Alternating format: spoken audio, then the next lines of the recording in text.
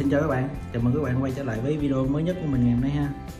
Thì cái video ngày hôm nay mình sẽ hướng dẫn các bạn là cách tắt cái chìa khóa cái, cái tiếng kêu bíp bíp khi các bạn sử dụng chìa khóa smart key nè.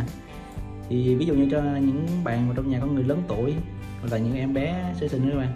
Các bạn về khuya mà mà dắt xe vô khi khóa xe lại thì nó sẽ kêu lên cái tiếng bíp đó thì nó sẽ gây nên cái cái cái, cái, cái phiền cho người ta ha thì uh, mình sẽ hướng dẫn các bạn là làm sao tắt cái uh, hai tiếng đó trên cái chìa khóa smart key của Honda ha.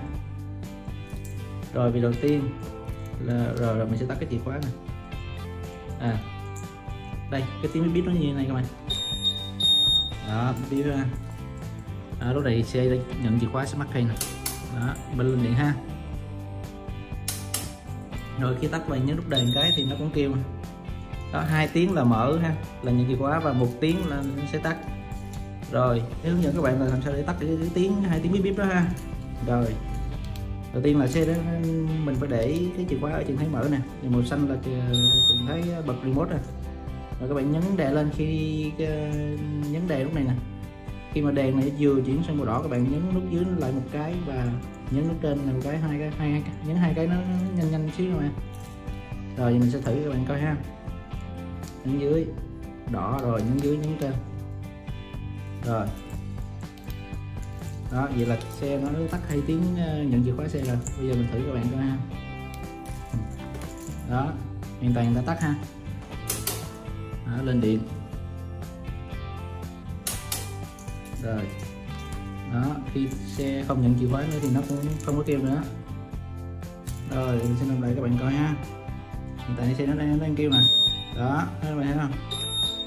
Đó đó kêu gì nó, nó nhận chìa khóa đó. Rồi xe đang nó, nút này đang để xanh nè. Rồi các bạn nhấn giữ.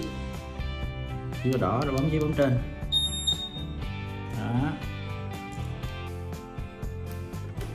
Đó các bạn thấy không? Lúc này nó đã tắt hẳn cái tiếng kêu rồi. Đó. Rồi bây giờ các bạn giả sử như các bạn bấm nhầm hay là cấn túi gì đó mà xe nó mất tiếng kêu bây giờ muốn làm lên cho nó kêu trở lại á thì các bạn cũng vậy luôn.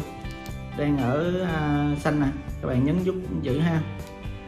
Rồi chuyển qua đỏ bấm dưới nút trên liền. Rồi bây giờ thì xe nó, nó kêu trở lại rồi các bạn. À. đó ha giờ là xe nó đã kêu trở lại ha.